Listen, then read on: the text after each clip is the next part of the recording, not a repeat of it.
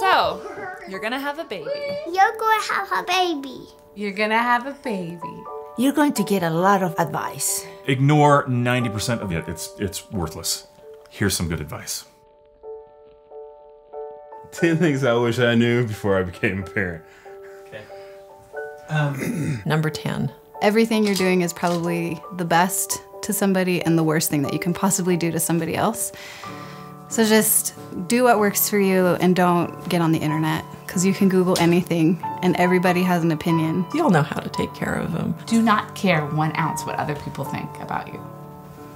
Bam. Yeah. Number nine. Get on a schedule, get on a schedule, get on a schedule if you want to live. Schedule is key to sleep. Schedule. Number eight, Everybody leaves this out. So parenting is hard. You can't, sometimes you just can't handle it. Take just an hour, go to grandma's, drop the baby off, go get some ice cream, take a 20 minute nap. Make a date night once a week and don't skip it. Number seven, This is important. Instead of having to like mold them to what you want. Discover who they are and let them let them be. Number 6. Be prepared for the unexpected because it will happen. Like maybe the possibility of having twins.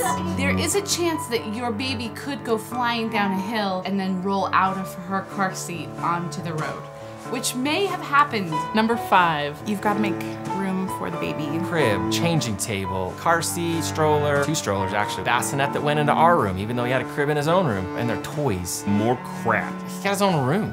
He's five pounds, he has his own room, right? Like, I don't have my own room. Number four, you're going to look back and you're going to say, I wish those times would come back. So keep them.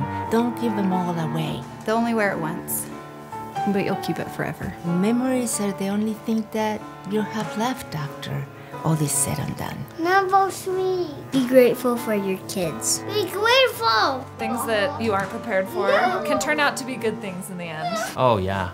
Worth it. All the poop and snot and screaming and crying and fighting. Worth it. All of it. Totally worth it. To cherish every single minute. We would never have asked for the challenge, but we were so grateful for what she taught us. We're grateful every day for her life. The best thing that ever happened to us. Number two. Don't be too hard on yourself. It's gonna be okay. some days you're just not gonna have a lot of patience, and that's okay. It really is all just spilled milk. The house can wait. All of the chores can wait. You have to remember that this is a massive change in your life. And you're gonna feel every emotion there is to feel. Those deep, deep, deep emotions on either side of the spectrum. Yeah. Number one, The one thing that you just you can't understand, that you can't prepare for, that you're not gonna know until you experience is all the love.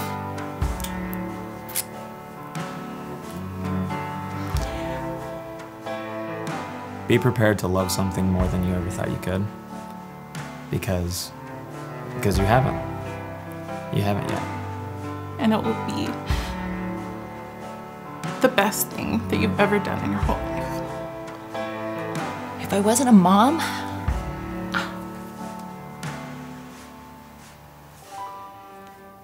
I can't imagine. It's been too wonderful. Just relax. You're gonna be great, hopefully.